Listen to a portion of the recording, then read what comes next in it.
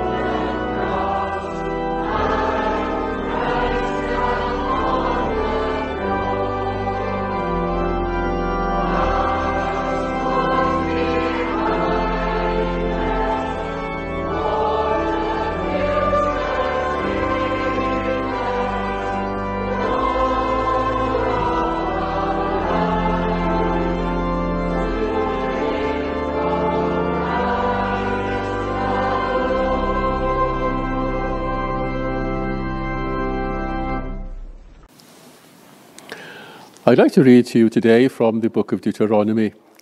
We read from chapter 11 and it's verses 8 through to verse 21. Observe therefore all the commands I am giving you today, so that you may have the strength to go in and take over the land that you are crossing the Jordan to possess, and so that you might live long in the land, the land the Lord swore to your ancestors and their descendants a land flowing with milk and honey. The land you are entering to take over is not like the land of Egypt from which you have come, where you planted your seed and irrigated it by foot as in a vegetable garden. But the land you are crossing the Jordan to take possession of is a land of mountains and valleys that drinks rain from heaven. It is a land the Lord your God cares for. The eyes of the Lord your God are continually on it from the beginning of the year to its end. So if you faithfully obey the commands I am giving you today, to love the Lord your God and to serve him with all your heart and all your soul, then I will send rain on your land in its season, both autumn and spring rains, so that you may gather in your corn new wine and olive oil. I will provide grass in the fields for your cattle, and you will eat, and you will be satisfied. Be careful or you will be enticed to turn away and worship other gods and bow down to them. Then the Lord's anger will burn against you, and he will shut the heavens so that it will not rain, and the ground will yield no produce, and you will soon perish from the good land the Lord has given you. Fix these words of mine in your hearts and minds. Tie them as symbols on your hands and bind them on your foreheads. Teach them to your children, talking about them when you sit at home and when you walk along the road when you lie down and when you get up. Write them on the doorframes of your houses and on your gates, so that your days and the days of your children may be many in the land that the Lord swore to give your ancestors, as many as the days that the heavens are above the earth. May God bless to us our reading from his holy word. Amen. Another hymn, dear friends, because he lives.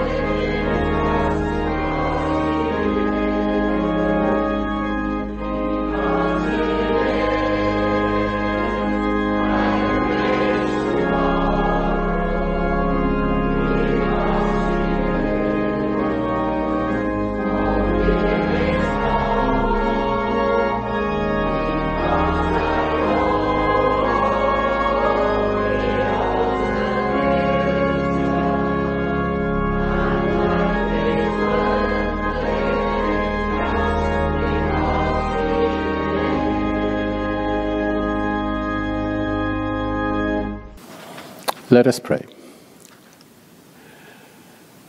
Lord, we have come today to seek guidance for our journey through life. None of us know what this new year holds for us, and yet we rejoice in your promise that you will be with us. Lord, we come to you as we are, that we may be changed by your grace. We come, perhaps, with our emptiness, that we might be filled. We come with darkness, seeking your light. We come with our weaknesses to receive your strength. We come with our lives to be filled with your power. We come with our worship to praise you forever. Lord, you are the source of all that is good, right, and true. At the beginning of this new year, we seek your leading and guidance, Lord. None of us can see further than this very moment, and yet you have promised to be with us, and for that we give you thanks and praise. Give us the grace to face whatever this year holds for us. In times of joy and thanksgiving, help us to be grateful and to count our blessings and be a source of joy and comfort to others. If this new year brings unexpected challenges, please, Lord, give us the grace and the assurance of your presence. If sadness and sorrow come our way, then give us more than ever before a renewed confidence in the words of Jesus I will be with you even to the end of the age. And so now, our Father, we just thank you for your love. We look back over the year that has been and we recall your mercies to us, even in times of darkness and uncertainty. The light of your love has shone around us. Give us confidence to face this new year, knowing that you have ordained a path for us that you have granted us the assurance of your peace and presence along the way. And Lord, grant us that we might look to Jesus, who is the way, the truth, and the life. In his name we pray. Amen.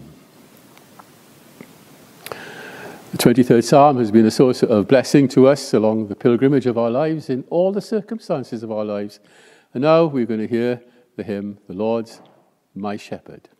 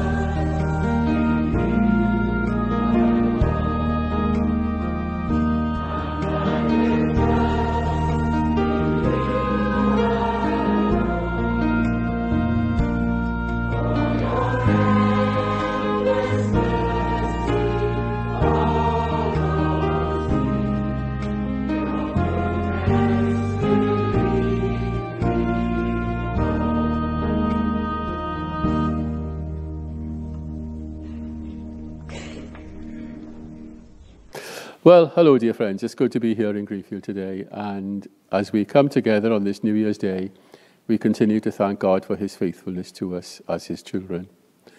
We come in anticipation of God's peace and presence as we come at the beginning of a new year. A new year is a time when we do share in new resolutions for the future. And we come together today resolved to worship God and to come into his presence with thanksgiving for all that has been and all that will be. The Word of God tells us that God is yesterday, today, and forever the same. At the beginning of a new year, we take stock and look back at the year that has been, and we recognize today it's not been an easy track for us through 2020.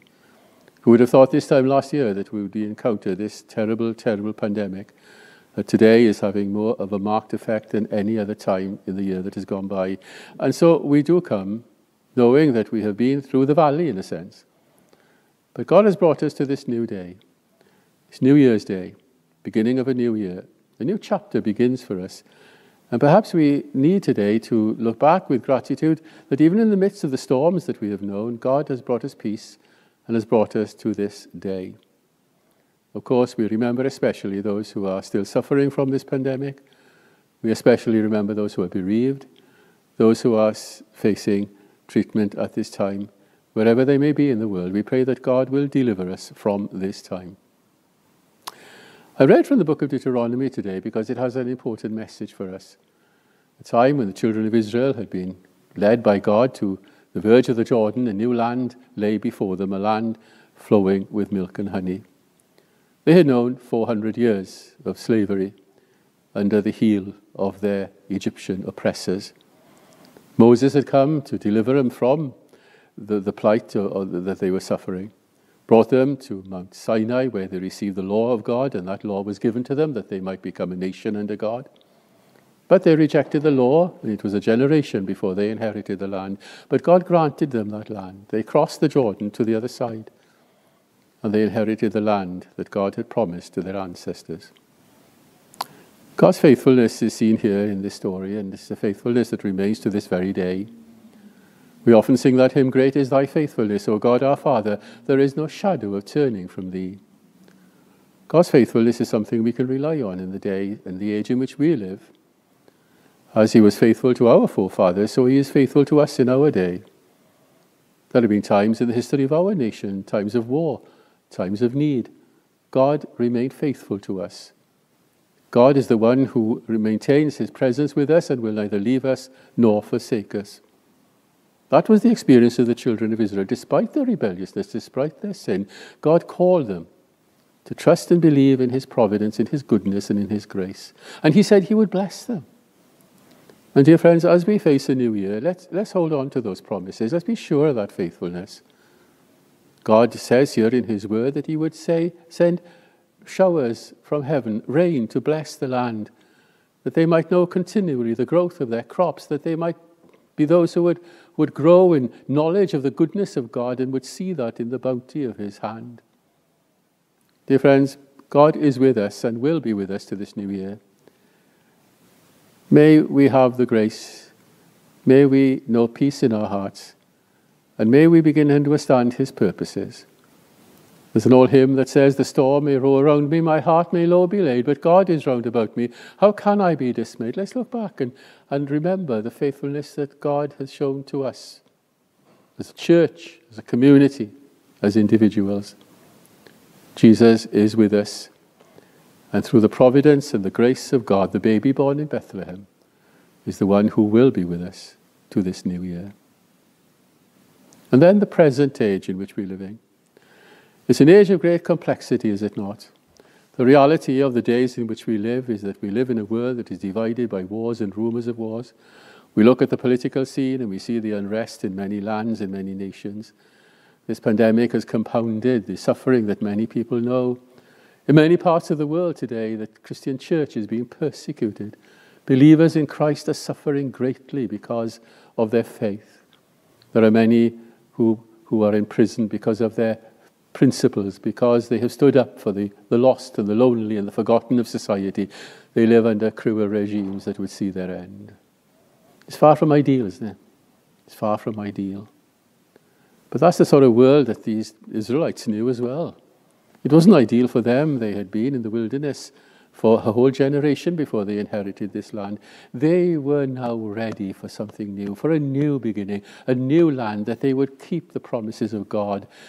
Unfortunately, they didn't. Some of them bowed to the, to the, to the gods of Canaan. Eventually, they found themselves in captivity in Babylon, longing to return to the city of Jerusalem. Did God leave them? No. Did he forsake them? No. Why? Because he had entered into covenant with them. In the book of Jeremiah, we read, I will be your God and you will be my people. That's the covenant of grace, you see. That's the nature and character of God we can hold on to at the beginning of a new year. Because of our present circumstances may not be ideal. Perhaps life for you and I isn't ideal at this moment. Perhaps we feel sometimes we ask the question, Where are you, God, in the midst of my uncertainty, in the midst of my doubts and fears?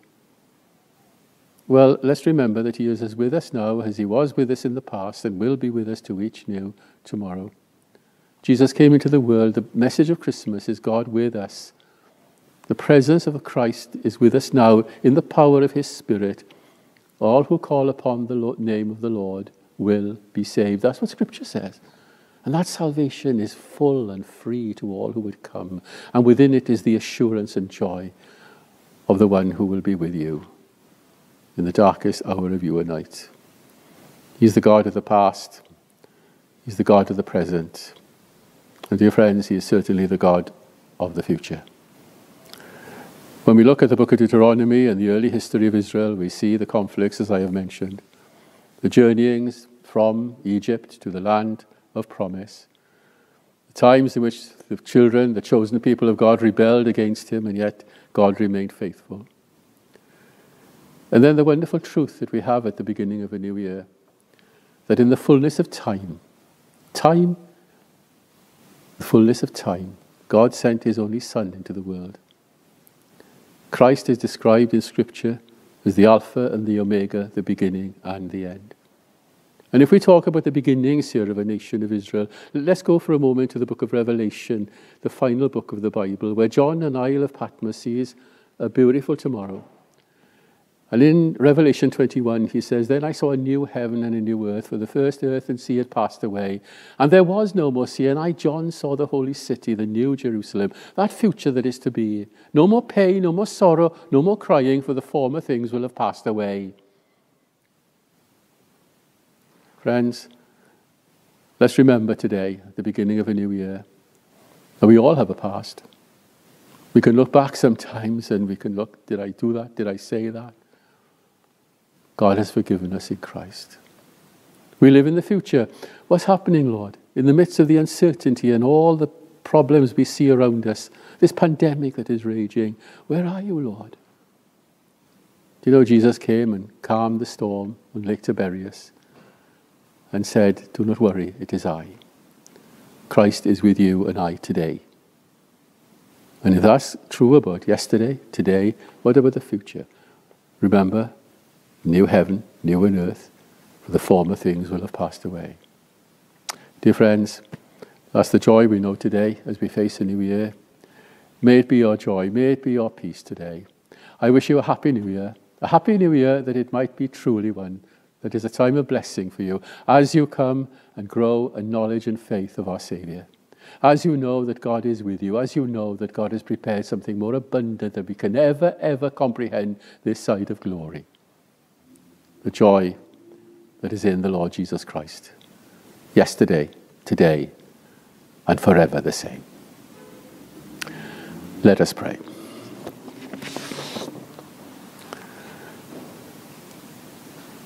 Lord, we pray especially now for those who are in need. We pray for our community here in Llanelli. Be of help and support to those who are facing difficult situations and perhaps difficult decisions that have to be made. We pray for the healing of the broken-hearted, those who have lost loved ones, especially over the Christmas time, Lord, families that feel bereft and lonely and afraid at this time. May they know the confidence of the one who is the resurrection and the life.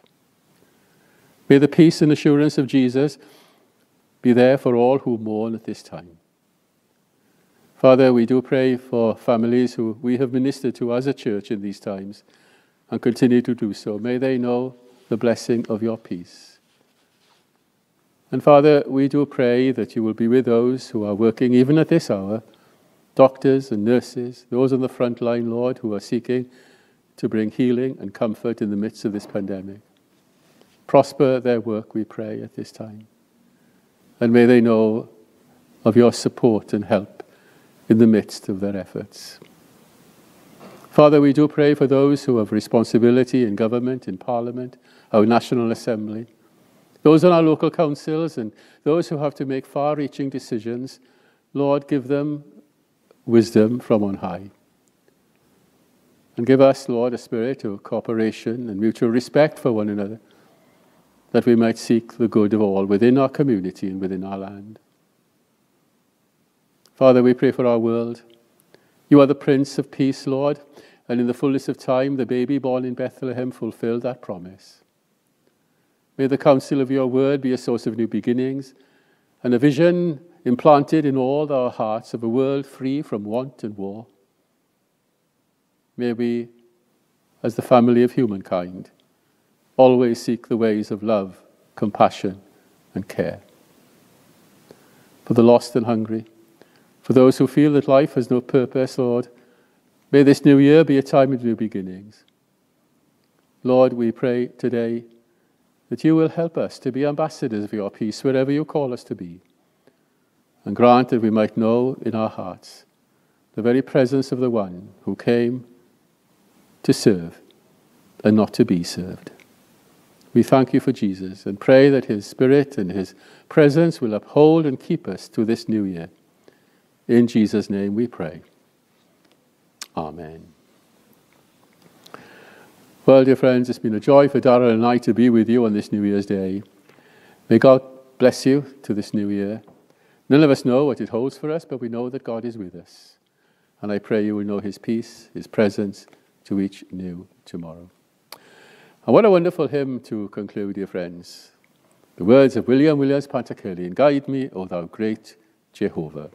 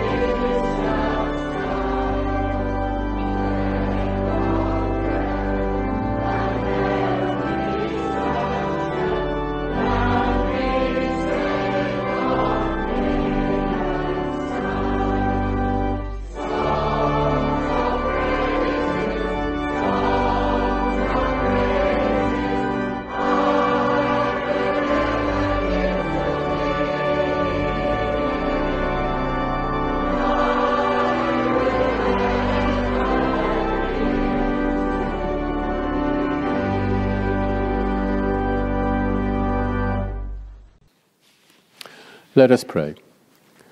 Father, we seek your blessing now as we bring this service to a close. Grant that your church may show forth the story of your grace and love to this new year. Especially, we remember our persecuted brothers and sisters in Christ, that they, even under the oppression they suffer, may be sure that you are with them. We pray for their families who are separated from their loved ones because of their love for Christ, that they might be strengthened to face all the taunts of the evil one. Grant to them the sure and confident hope of the victory that is assured through the resurrection of Jesus from the dead. And so, Lord, we offer our New Year Day praise to you. Bless us now and our families to this new year.